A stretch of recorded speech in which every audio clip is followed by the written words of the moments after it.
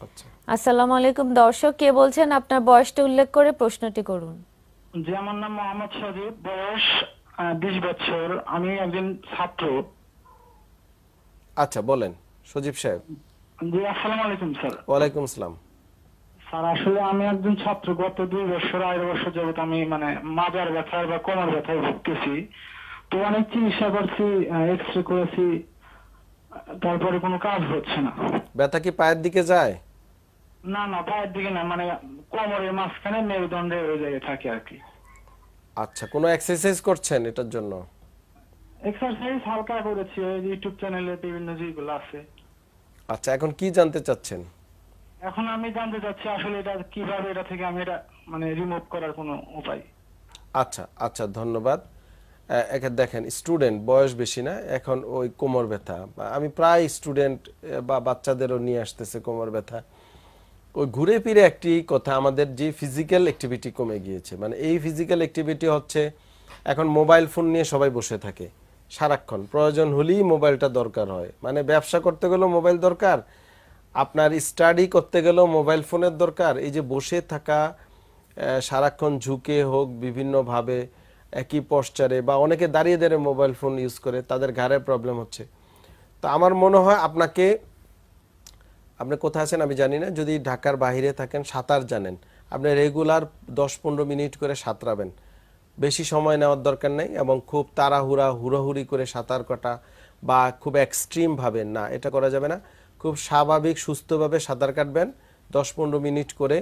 আর আমার ইউটিউব চ্যানেলে গিয়ে আমার নামেই দেওয়া আছে ডক্টর এম ডি শফিউল্লাহ প্রধান। আপনি ওখানে দেখবেন ব্যাক এক্সারসাইজ আছে কিছু ব্যাক এক্সারসাইজ উপর হয়ে শুয়ে কিছু ব্যায়াম দেওয়া আছে। ট্রাই করবেন, ওই ব্যায়ামগুলো আশা করি ইমপ্রুভ হয়ে যাবে। আর সাঁতার কাটলে ইমপ্রুভ হয়ে যাবে। তারপরও সমাধান না হলে হয়তো আপনার পিঠের একটা এমআরআই করে দেখতে হবে। সেই ক্ষেত্রে আপনাকে কোনো ডাক্তারের শরণাপন্ন হতে হবে বাদ ব্যথা এবং রিহাব ফিজিওথেরাপি চিকিৎসকের শরণাপন্ন হয়ে আপনাকে হয়তো একটা এমআরআই করে দেখতে হবে। যে সমস্যা থাকলে হয়তো বিভিন্ন প্রকার থেরাপির প্রয়োজন হতে পারে। ইলেকট্রোথেরাপি বা ম্যানুয়াল থেরাপি বা আকুপাংচারি জাতীয় চিকিৎসার প্রয়োজন হতে পারে।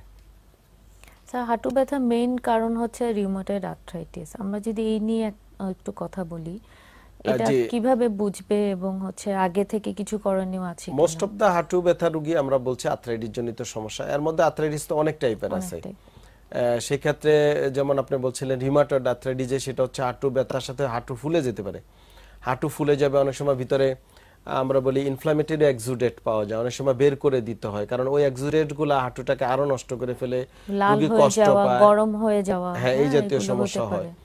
তো এগুলা সরিয়ে ফেলতে হবে। তো অনেক ক্ষেত্রে এই রুগীরা আসলে বুঝতে পারে না আসলে কি করবে বা ওষুধ খাবে না কোথায় যাবে কি করা উচিত। তো একটা একটা পজিটিভ দিক কিন্তু বাংলাদেশে এখন প্রচুর স্পেশালিস্ট তৈরি হয়েছে প্রচুর হসপিটাল তৈরি হচ্ছে প্রচুর সেন্টার তৈরি হয়েছে। অন্তত একটা বেসিক লেভেল চিকিৎসা এখন কিন্তু পাওয়া যাচ্ছে। আর এই হাঁটুর ক্ষেত্রে আমি যেটা বারবার বলতে চাই সবাইকে, ওজন একটা ফ্যাক্টর কারও যদি ওভার ওয়েট থাকে, অবশ্যই ওজন কমিয়ে ফেলতে হবে। হাঁটু যদি সুস্থ রাখতে চায়, কেউ যদি হাঁটুর হাঁটার অভ্যাস না থাকে বা বাদ দিয়ে ফেলেছে বা হাঁটা একেবারেই বন্ধ, তাদের আজকে থেকে হাঁটার অভ্যাস করতে হবে। গ্রাজুয়ালি ধরেন প্রতিদিন পাঁচ ছয় মিনিট করে হাঁটলো, আস্তে আস্তে বাড়ালো, এভাবে আস্তে আস্তে এক ঘণ্টা পর্যন্ত নিতে পারে। আর অনেকের হয়তো বলে মনে করে যে হাঁটতে হলে একবারই হাঁটবে বা এট এ টাইমে অনেক সময় হাঁটবে। এটা হচ্ছে রেগুলার দুই তিনবার অল্প সময় হাঁটা অনেক বেটার আচ্ছা। মানে এইটা কিন্তু একটা রিকভারি পিরিয়ড পায় সে। এটা মনে হয় আমরা অনেকেই জানি না। অনেকেই জানেন আচ্ছা, অনেকে মনে করে ফোন নিয়ে নেই স্যার এই আচ্ছা। বিষয়ে আবার ফিরবো আমরা। আসসালামু আলাইকুম দর্শক কে বলছেন? আপনার বয়সটা উল্লেখ করে প্রশ্নটি করুন হ্যাঁ হ্যাঁ, হ্যাঁ পবিত্র কুমার মন্ডল গোপালগঞ্জ থেকে বলছিলাম। জি। বলেন শুনতে পাচ্ছি। হ্যাঁ ও সমস্যা হলো আমার ওয়াইফের এই দশ দিন আগে রিক্সায় উঠতে গিয়ে হঠাৎ পায়ে টান লাগল। তো অর্থোপেডিক সার্জনের কাছে গেলে উনি বললেন যে এমআরআই করতে হবে লিগামেন্ট সমস্যা হতে পারে। তো এমআরআই করে দেখা গেল যে injury of ACL R grade two injury of meniscus meniscus তো এটা রিপোর্ট পাওয়ার পরে উনি ওরা পুরো পাটা ব্যান্ডেজ করে দিলেন একেবারে। এখন একেবারে পুরো পাটা ব্যান্ডেজ এবং একুশ দিনের কথা বললেন যে একুশ দিন পরে খুলতে হবে। আসলে এখন ও মানে এর পরে রিহ্যাবিলিটেশন যেটা খুব শুনতেছিলাম আপনার কথা খুব মন দিয়ে। তো এটা আসলে পরবর্তীতে আর কি ভবিষ্যৎটা মানে একটা পা তো খুললাম কিন্তু পরবর্তীতে চলাচল ওজন একাত্তর কেজি মতো ওজনটা একটু বেশি আছে। এখন আমি একটু পরামর্শ চাচ্ছি স্যার আপনার কাছে। অবশ্যই ধন্যবাদ। আপনার পরামর্শ খুব সহজ। একুশ দিন পর প্লাস্টারটা বা উনি যে ব্যান্ডেজ করে দিয়েছে, এটা খোলার পর ওনাকে ফিজিওথেরাপি চিকিৎসা শুরু করতে হবে। অ্যাজ আর্লি অ্যাজ পসিবল আপনি ডাক্তার সাহেবকে বললেই উনি এটা ব্যবস্থা করবেন। এবং হাঁটুর বিভিন্ন এক্সারসাইজ আমার ইউটিউব চ্যানেলও দেওয়া আছে, ওই এক্সারসাইজগুলো ওনাকে করতে হবে। আর পাশাপাশি ওনাকে এই যে কয়দিন বলবেন, ওজন কমাতে। ওজন কমানোর জন্য যদি কোনো থাইরয়েডের প্রবলেম না থাকে, সেক্ষেত্রে ডায়েট কন্ট্রোল করেই করতে হবে। খাবার যাহা খাচ্ছেন উনি সেটাই খাবেন সেটার পরিমাণ কমাতে হবে। পেট খালি রাখতে হবে পর্যাপ্ত পানি খেতে হবে। আফটার ইয়ার পরে আপনাকে ফিজিওথেরাপি চিকিৎসা নিলে ইনশাল্লাহ উনি এই সমস্যা রিকভারি হয়ে যাবে। এতে টেনশনের কোনো কারণ নেই। জি আমরা একটু বলছিলাম হাঁটার ব্যাপারে। আমরা তো জানি যে হাঁটা দিনে একবার এক ঘণ্টা হাঁটলেই হয় কিন্তু ভাগে ভাগে হাঁটাটা এটা এটা আসলে হয়ে ওঠে না অনেকের হয়তো বাট অনেকের ধারণা যে টানা সকালে ভোরেই হাঁটতে হবে। এটা আমি প্রায় রুগী বলে, স্যার, হাঁটবো কি সকালে? ভোরে? এটা ভোরে হাঁটার কারণটা হচ্ছে অন্য একটা ইস্যু আছে। সেটা হচ্ছে বাংলাদেশ একটা মোস্ট অফ দ্য ইসলামিক একটা কান্ট্রি সকালে সবাই ফজরের নামাজ পড়তে উঠে এবং সকালের পরিবেশটা খুব ভালো থাকে। হ্যাঁ একেবারে কোনো ধুলাবালি নাই, কিছু নাই। সারা রাতে যে হয়তো কুয়াশা হতে পারে বা পরিবেশটা ভালো। এই এই ভালো একটা ওয়েদারে সবাই হাঁটার অভ্যাস করেছে বা আমরা বলি করতে। এই জন্য সকালে কথাটা বলেছে। এখন সবার দ্বারা তো আসলে সকালে উঠে এই কাজটা করা সম্ভব না। স্পেশালি ব্যথা রুগীদের সকালবেলা উঠা কোনোভাবেই সম্ভব হয়ে ওঠে না। আথরাইটিস রুগী তারা উঠতেই পারে না।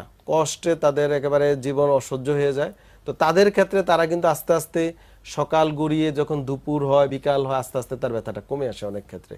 তো যখন সে পারে তখনই সে হাঁটবে। কথাটা হচ্ছে আপনার লাইফস্টাইল আমার লাইফস্টাইল কিন্তু এক না।